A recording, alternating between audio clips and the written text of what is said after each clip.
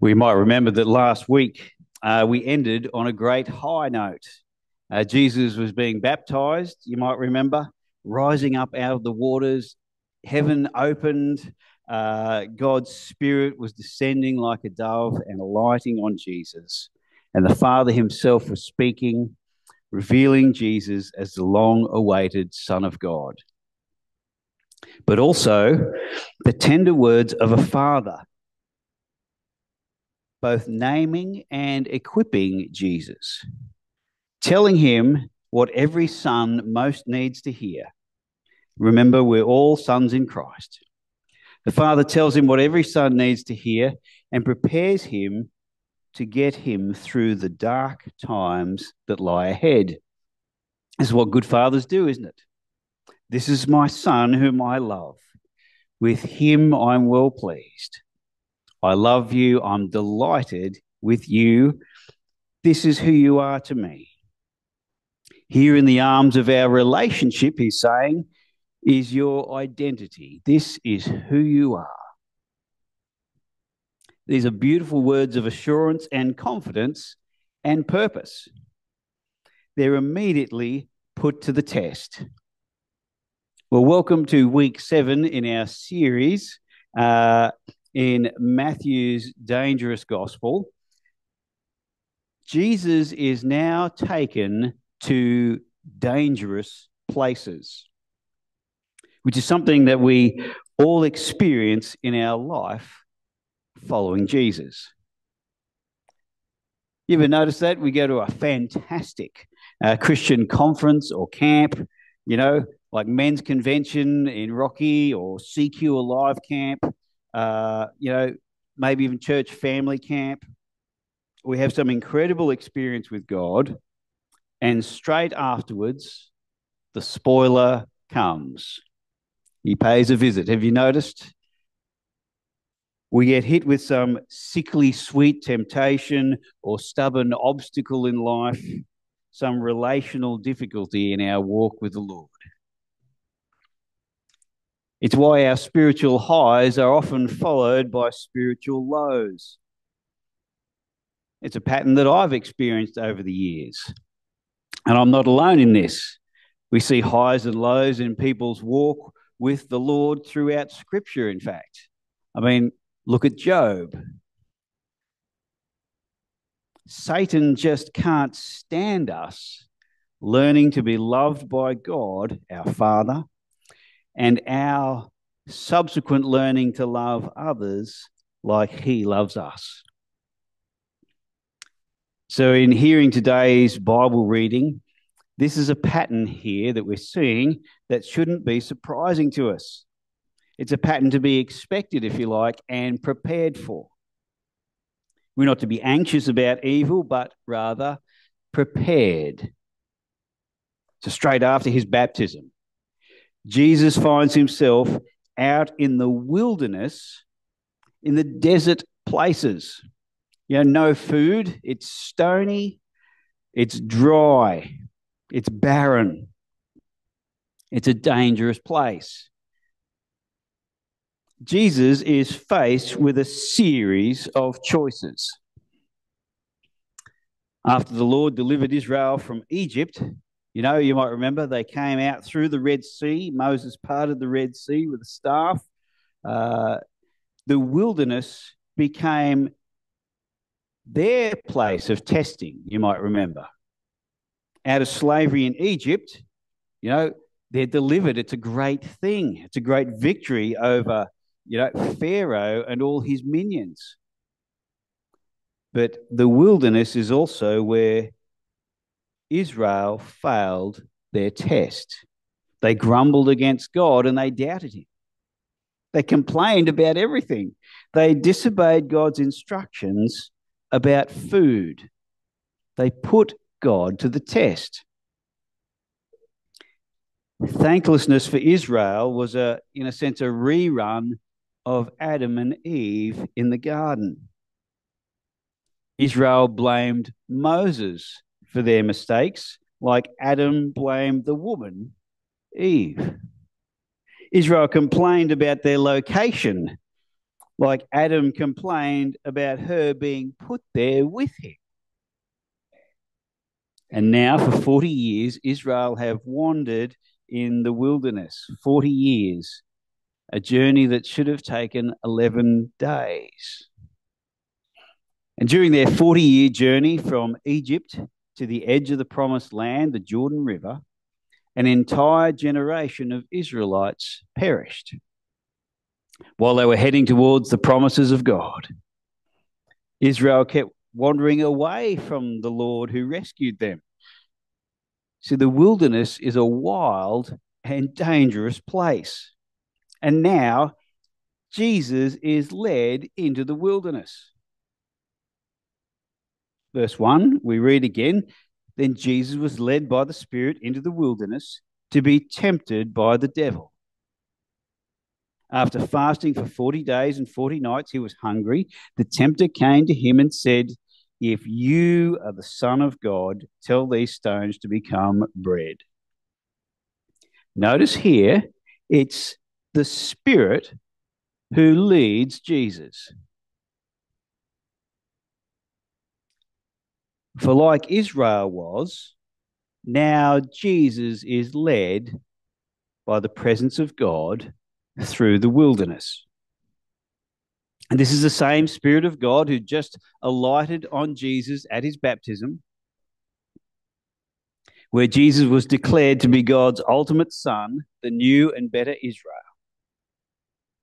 But now, as God's delightful Son, his very identity is being tested in the wilderness by the tempter, just like it was with Israel so many years ago, just like it is for us now as we follow Jesus. Our identity in Christ is tested all the time. See, whenever we deepen our identity in Christ, as the delighted children of God, whenever we grow, in that precise moment, the evil one comes, sowing seeds of doubt about our identity the tempter comes. The first here is his temptation to doubt. Jesus has been fasting.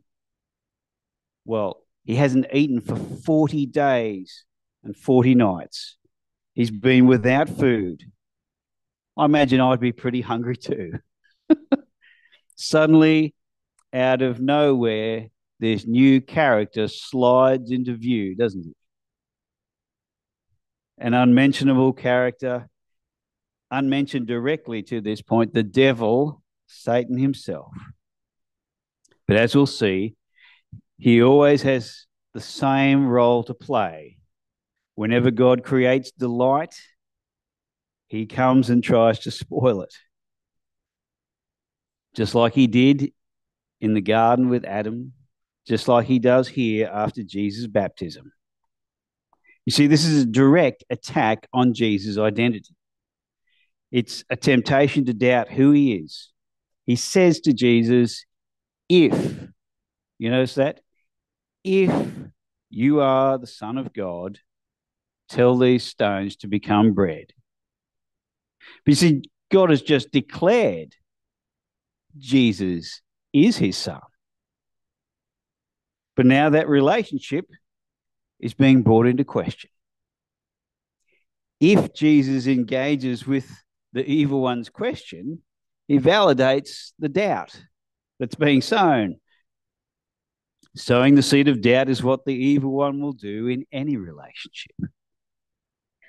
It's what the evil one did in Eden. He asks and he questions the relationship. It's always the same old story.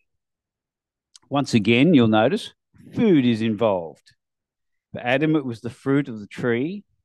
For Israel, it was the manna from heaven. And for Jesus, now it's bread again.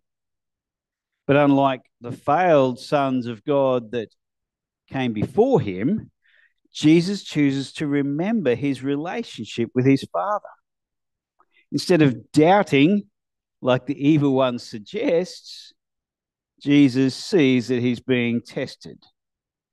It is written, Man does not live on bread alone, but on every word that comes from the mouth of God. Jesus knows who he is because he knows who his Father is. Jesus is secure in his identity by remembering God's pleasure and love, his own delight with his Son. And as we saw last week, God's delight in his relationships is a foundation for us. It's a foundation for our faith. Jesus quotes God's word in Deuteronomy, where Moses commanded Israel to remember. Remember how you were tested. Remember how humbled you were in hunger. Remember how God fed you. Why? Well, it's so that they would learn that man does not live by bread alone. That for every human soul, the whole material world is not enough. That what you need for your life is every word that comes from the mouth of the Lord. His guidance, his instruction. Have you learnt this yet? This is what we need in our life when God tested Israel in the wilderness, uh, Deuteronomy 8 says he did this to reveal their hearts. So, when tested with hunger, the sons of God always reveal what's in their hearts, in our hearts too. When tested, Adam indulged his own desires. Israel complained about the manna they chose to forget God's word, but now Jesus, the Son of God, reveals what's in his heart by actually remembering. When tempted to doubt, Jesus remembers. Secondly, there, he's tempted to test God rather than rest securely in him. As the devil changes his temptation, he also changes location, you might notice from the parched wilderness to the place of plenty, uh, the big city, Jerusalem itself, to the highest point of the temple. Once again, the tempter strikes at Jesus' identity. Verse 5 the devil took him to the holy city, set him on the highest point of the temple. If you are the Son of God, he says again, Throw yourself down, for it's written, He will command His angels concerning you, and they will lift you up in their hands so that you will not strike your foot against a stone. Now, this time, you'll notice the evil one quotes a couple of Bible verses himself, doesn't he? He starts to, you know, I can play this game. He's quoting Psalm 91 about God protecting his people.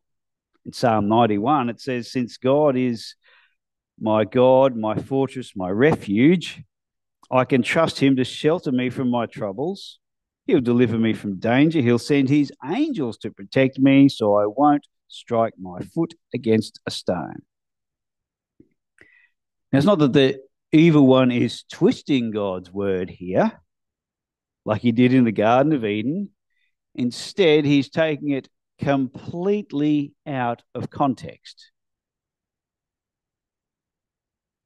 A text without a context is just a con, some people will tell you. Psalm 91 is about resting in God and trusting Him in all things. It's not about jumping off the top of the temple, seeing if His angels will catch you. It's a terrible application of a delightful song, Psalm 91. So the devil basically saying here, Jesus, if God provides Psalm 91 levels of protection for you, and if you really are the Son of God, let's just see how well that goes. Go on, jump. Test God. How much does He really love you? How often does that question come into your own mind? How much does God really love me? Have you ever asked that yourself? Am I truly loved? Here is the devil's test, isn't it? He's not only testing Jesus' confidence in his own identity, he's testing the strength of the relationship at this point. But this is a strong relationship between the Father, the Son, and the Spirit. Jesus doesn't react out of fear at this point. He doesn't react out of insecurity. He doesn't play the evil one's game at all. He responds rather than reacts. He rests in God. He trusts in God rather than testing him. Jesus simply responds with more scripture, with God's word again, because the best defense against the dark arts of this world isn't a you know a magic spell or anything. It's simply responding with God's word. Again, Jesus remembers Deuteronomy.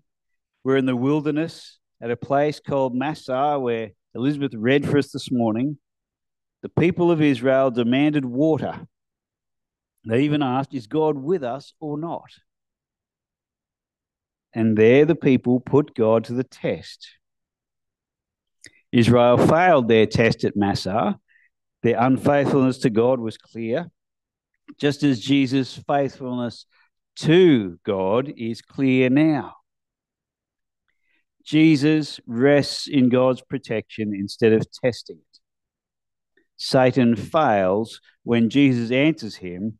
It's also written, Do not put the Lord your God to the test. And now our location changes a third time. This is like the third scene of the temptation, the testing. Now we go to the mountains. Matthew calls it a high mountain. It's hard to know which mountain exactly that he means, uh, but uh, it's it's up high. Satan offers Jesus a whole lot more than what Moses missed out on on the edge of the promised land. The devil took him to a very high mountain and showed him all the kingdoms of the world and their splendor. All this I'll give you, he said, if you will bow down and worship me.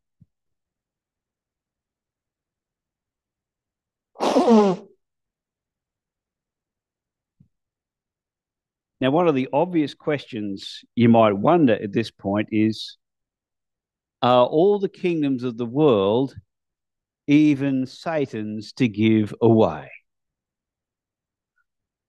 And of course, you might be right if you said the answer is no. Only God has authority over all things.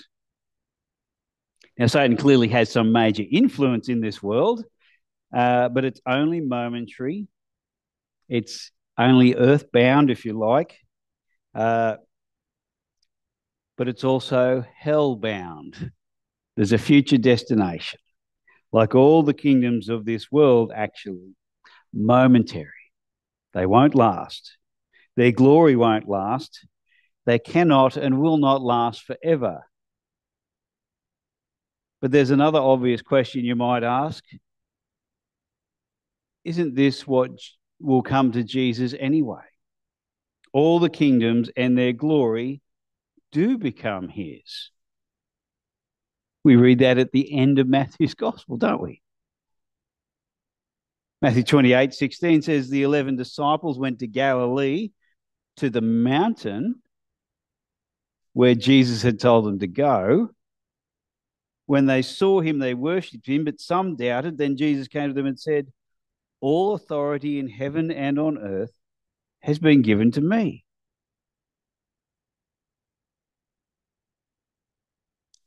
So, what Satan is offering Jesus here is a shortcut, a race to the top, if you like, without having to start from the very bottom, the depths, if you like. It's like a sidestep, a cheat sheet um, a counterfeit victory or a fast track to success, even though he has no authority to grant it. See all this, Jesus? It's all yours if you will just bow down and worship me. Now, this is important for us in our time. There are some so called churches, some so called forms of Christianity that offer the keys to success and prosperity without the hardship. But in following Jesus, there are no shortcuts. There's no express lane, if you like. When it comes to living the life of obedience, following Jesus is not the fast ticket to the easy life. It's a tempting offer, though, isn't it? to race past suffering and trouble instead of facing it or having to face it, and to shortcut the relationship with God and just skip to the benefits. So tempting, isn't it? Honor without humility, authority without suffering, glory without perseverance, knowledge without learning somehow, resurrection without death. The evil one is tempting Jesus to race to the end and not face what's ahead of him. But Jesus wants to love each and every one of us. There's a death he needs to die before he can be raised to life. There's a suffering in the night to appreciate that joy which comes in the morning. Jesus wants to face his destiny without any shortcuts because Jesus insists on meeting us where we really are and to come near to us as he really is. Once again, this is a test, a temptation. How committed is Jesus to being that suffering servant, Son of God? For a third time, Jesus quotes Deuteronomy Away from me, Satan, for it's written, Worship the Lord your God and serve him only. Which is Jesus' total rejection of the devil's temptation to bow down and worship.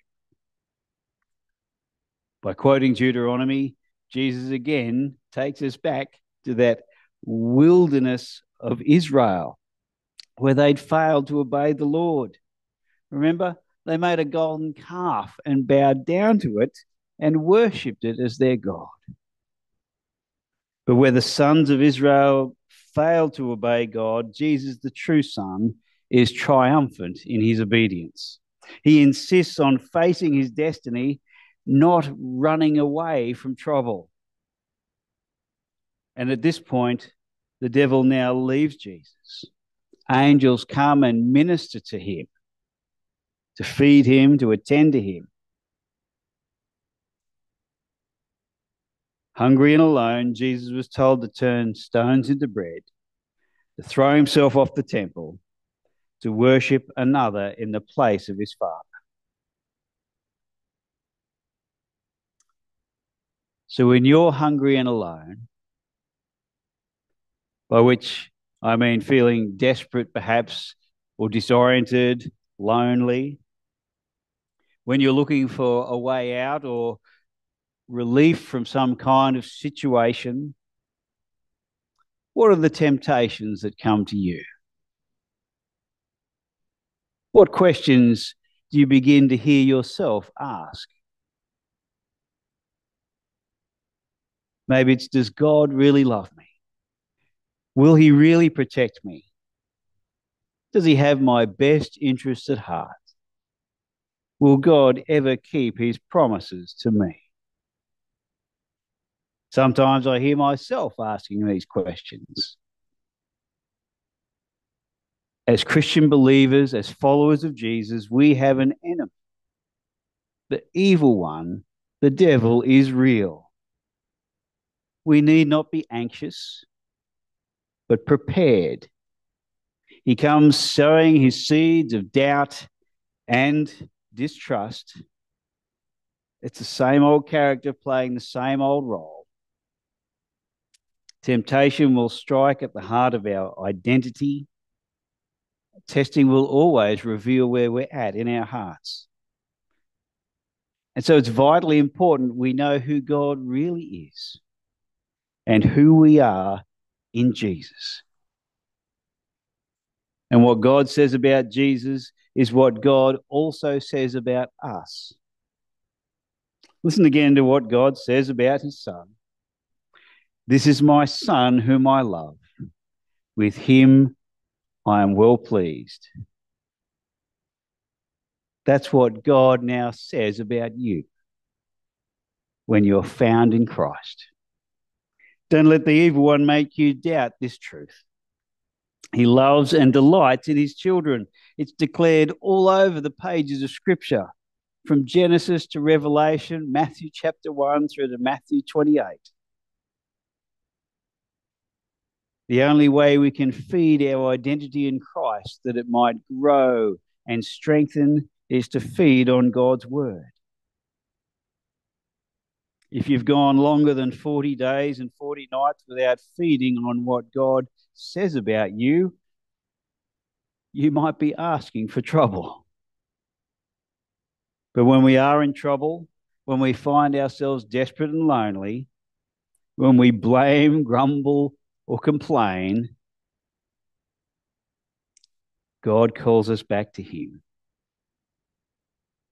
When He looks at us, He sees His Son our Lord Jesus. Now, Jesus lived a life here of choices,